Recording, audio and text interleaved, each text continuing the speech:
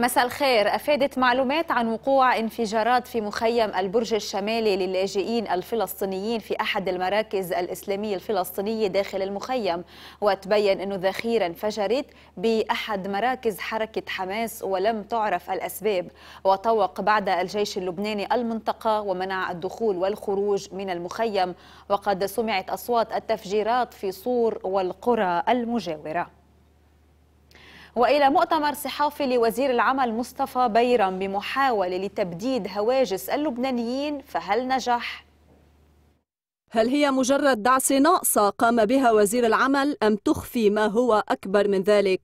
الأكيد الوحيد أن كل التبريرات التي قدمها الوزير مصطفى بيرم في مؤتمره الصحفي اليوم لم تبدد هواجس اللبنانيين وشكوكهم متسلحا بقرارات وزارية سابقة مماثلة كما قال أطل وزير العمل ليؤكد أن ما كان ممنوعا على الفلسطينيين لا يزال كذلك. ما كان ممنوعا بموجب الدستور ما كان ممنوعا بموجب القانون ما كان ممنوعا بموجب المراسيم وبموجب القوانين المتعلقة بالمهن عنا مثل الطب مثل المحاماة مثل الهندسة مثل الخبراء المحاسبة وغيرهم ما زال ممنوعا. أنا ما قربت صوبهم أصلا ما عندي صلاحية أقرب صوبهم المسألة الفلسطينية أخذت حيز صغير جدا. نقلت ذات العبارة الموجودة بالقرارات اللي قبل ذاتها موجودة بمعال عند معالي الوزير بطرس حرب عند معالي الوزير سجعان أزة عند معالي الوزير محمد كبارة وعند معالي الوزير سليم جريساتي. فشو اللي صار ما بعرف. أنا بأكد لكم 90% ممن انتقدنا والله لم يقرأوا القرار إذا كان وزير العمل قد نسخ فقط القرارات الوزارية السابقة فلماذا لم تقم قيامة المهن الحرة والقطاعات إلا اليوم فقط؟ فالمشكلة هي بتوسيع مروحة الاستثناءات الدائمة والعابرة بما لا يخدم مصلحة العامل اللبناني كما يؤكد مصدر سياسي لل OTV وهذا ما أكده أيضا وزير العمل السابق سجعان قزي في اتصال مع ال OTV الذي شرح أن بيرم أدخل تعديلين أساسيين على القرارات السابقة التي كانت تحصر عمل الفلسطينيين بما دون الفئة الثالثة ولكنه اليوم أزال هذا الاستثناء وفتح سوق العمل لهم على مصراعيه. كذلك كان عمل السوريين محصورا بقطاعات ثلاث هي البناء والزراعة والنظافة فقام بيرم بإزالة هذه الاستثناءات أيضا. فضلا عن كونه لم يميز بين النازح السوري والعامل السوري. وكل ما سبق خطوات متقدمة باتجاه التوطين والدمج.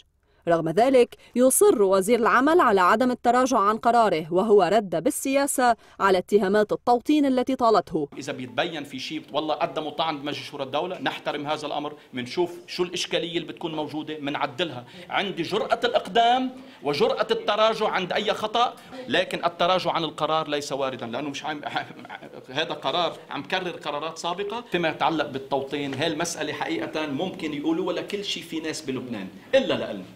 نحن قدمنا الدم. نحن اللي أسقطنا صفقة القرن. نحن اللي قدمنا خيرة شبابنا. نحن اللي تهدمت بيوتنا لنمنع التوطين. فضلا عن ذلك ليش الفلسطيني بده توطين؟ بعيدا من السياسة يؤكد رئيس منظمة Justicia الحقوقية المحامي بول مرقص لل OTV أن قرار بيرم جاء باستثناءات واسعة تخالف الدستور والقوانين اللبنانية ومتطلبات سوق العمل. فالدستور يمنع التوطين صراحة وهذا شكل من أشكاله في ميدان حقوق العمل لأنه جاء مطلقا من دون شروط ومعايير واضحة ومدروسة تلبي النقص في حاجات السوق. كما أن بيرم توسع في الاستثناءات من حيث أعطاء الفلسطينيين حق العمل من دون معايير تفصيلية واكتفى بأن يكونوا قد ولدوا في لبنان أو تزوجوا لبنانية أو حتى بمجرد أنهم تسجلوا أمام وزارة الداخلية. الأمر الذي من شأنه مزاحمة اللبنانيين على نحو مطلق. إزاء كل ما سبق تبقى العين على قرار مجلس شورى الدولة في ضوء الطعون التي سيقدمها أكثر من قطاع قريبا لإبطال هذا القرار. فهل ستطوى فعلا هذه الصفحة أم أننا بدأنا للتو مرحلة جديدة تطرح أكثر من علامة استفهام حول صمت بعض المرجعيات والأفرقاء السياسيين الأساسيين حولها؟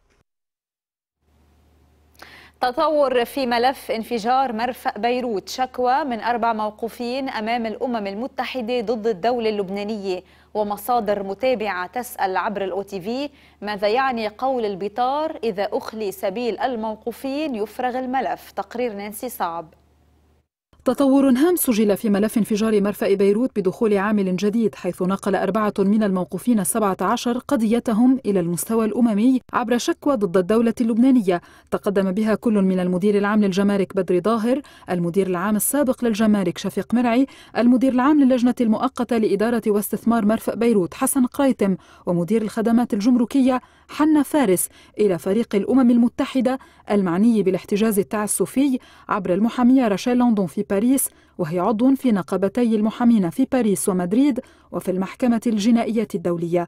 خلال أيام يفترض أن تتبلغ وزارة العدل هذه الشكوى عبر وزارة الخارجية وموضوعها يأتي في خانة اعتبار الموقوفين معتقلين بشكل تعسفي وغير قانوني وأن توقيف كل من مرعي وقريتم وفارس وظاهر واحتجاز حريتهم من دون أي سبب بعد الانفجار سوى كونهم يشغلون مناصب وظيفية حالية أو سابقة ومن دون إتاحة القدرة لهم للدفاع عن أنفسهم ومن دون تمكينهم منذ تاريخ احتجازهم من الطعن بشكل فعال بقانونية الإجراءات التي اتخذت بحقهم وهو ما ينافي قواعد العدالة.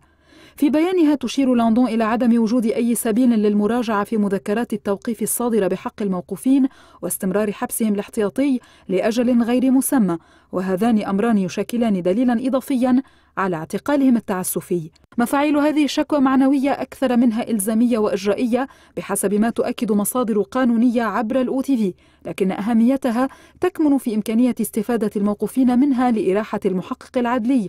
باعتبار القرار الذي يصدره فريق الأمم المتحدة هذا مستندا يمكن للبطار ركون إليه لتبرير إخلاءات سبيل الموقوفين لا سيما وأن أقصى جرم يمكن للموظفين الإداريين ارتكابه في مثل هذه الجريمة هو الإهمال بينما هم يلاحقون بالقصد الاحتمالي.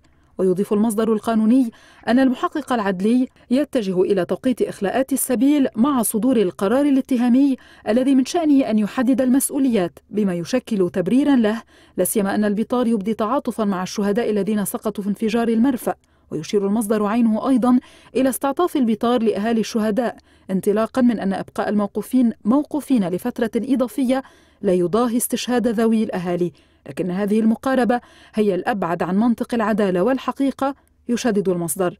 علما أن المخالفة الأساسية بالنسبة إليه كانت استعجال مجلس الوزراء بإحالة القضية على المجلس العدلي باعتبار مسبق أن الانفجار مفتعل بدلا من ترك القضاء يأخذ مجاه فيحدد أصل الجريمة وصلاحية المجلس العدلي من عدمها.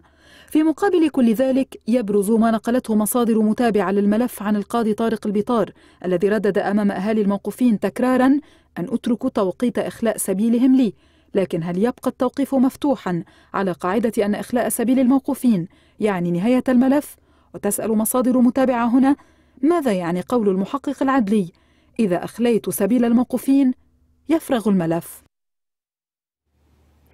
رئيس الحكومة نجيب ميقاتي يحط في قصر بعبدة والبحث ركز على عدم انعقاد مجلس الوزراء ما يؤثر سلبا على العمل الحكومي وأداء الوزارات والإدارات العامة ومصالح المواطنين.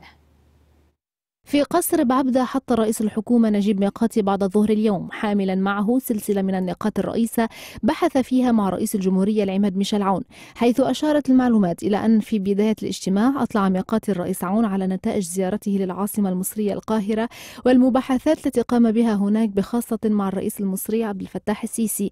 ولفتت المعلومات إلى أن أجواء هذه المباحثات كانت جيدة وهناك إيجابية بالنسبة إلى الكميات والأسعار والتواريخ التي سيتم فيها ضخ الغاز المصري للبنان.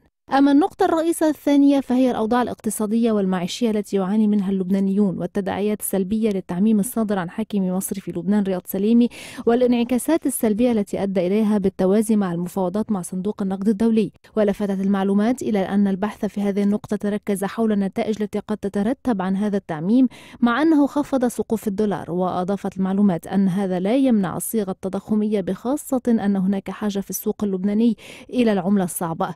أما النقطة البارزة الثالثة فهي التداعيات السلبية لعدم انعقاد مجلس الوزراء حيث يؤثر هذا الأمر سلبا على العمل الحكومي وأداء الوزارات والإدارات العامة ومصالح المواطنين بخاصة أوضاع موظفي القطاع العام ومسألتي زيادة بدل النقل اليومي والمساعدة الشهرية المقررة للموظفين لمواجهة الظروف المعيشية الراهنة.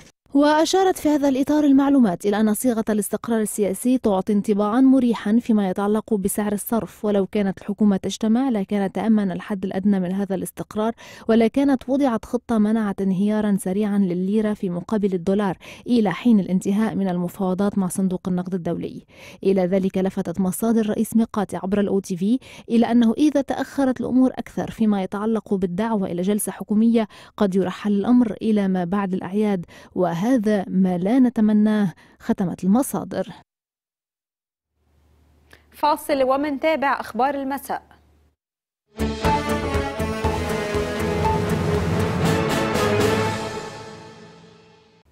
إلى فقرة كورونا اليوم وموضوع ماراثون فايزر لكل الفئات.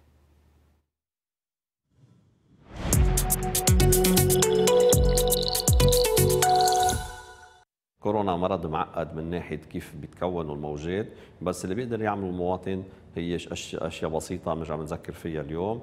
آه، أول شيء التباعد الاجتماعي ولبس الكمامة صار أكثر من ضرورة. ثاني شيء التشخيص المبكر عن ظهور أي عوارض بتشبه كورونا فحص ال antigène والفحص ال PCR لازم يكونوا مهمين لنقدر نشخص على بكير ونحمي الناس اللي حواليها للشخص المصاب. والشغلة الثالثة هي ال vaccination الطعومة بشكل واضح بيخففوا من أعداد الحالات بفوتوا من أعداد الوفيات. ونحن بنطلب من الجميع أنه يعززوا مناعتهم أو يطعموا خاصة قبل موسم الأعياد. هذا ال weekend ناطرين الكل بمراكز فايزر. آه، كنت من عمر 12 وطلوع كنت مسجل أو ما كنت مسجل نحن ناطرينك لحتى إذا حابب تاخذ الفاكسين نساعدك تحمي حالك وتحمي عائلتك خلال موسم الأعياد. ختام أخبار المساء. شكرا للمتابعة وتصبحوا على ألف خير.